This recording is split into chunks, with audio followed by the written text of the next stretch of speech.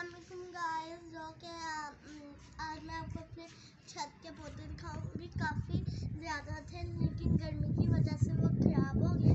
और हमारे घर के सामने हमारी जगह है, जो कि हमारी हवेली है।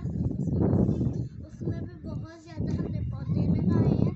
तो छत पे जो थे थोड़े से आज मैं आपको वो दिखाऊँगी।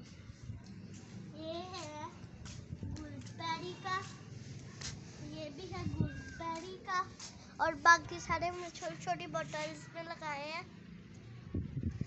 और ये है गुलाब का, जिसमें डिफरेंट डिफरेंट कलर के फ्लावर्स लगते हैं, कभी पिंक कभी येलो कभी वाइट और ये है ऑरेंज का, ये है ऑरेंज का।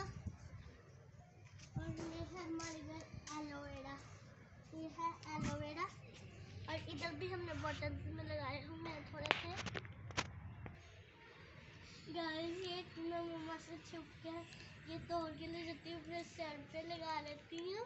और जब मेरी मम्मा निकालती है ना, मुझे डांट भी बड़ी पड़ती है। और यहाँ पे भी हमने और बॉटल्स में लगाए हुए हैं थोड़े से, जो कि आपको पहले बड़ों के हवा बड़ी चल रही थी तो उसकी वजह से बॉटल्स गिरी हुई है। वो वाली भी गिरी है वहाँ पे भी गिरी है। करती हूँ?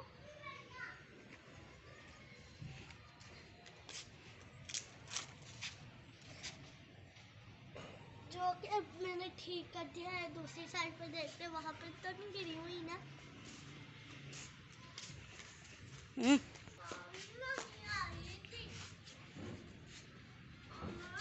जो कि दूसरी साइड पर सब हम्म। कुछ ठीक ही है। तो वो एक खराब है सही कर। हो। गया ये भी सही। और गाइस गाइस उम्मीद करती हूँ कि आपको ये वीडियो मेरी बहुत पसंद आई होगी। और नेक्स्ट जो सी मेरी वीडियो होगी, वो आप- मैं आपको हमें बना के दिखाऊँगी। ओके बाय ओके अल्लाह हाफिज़ बाय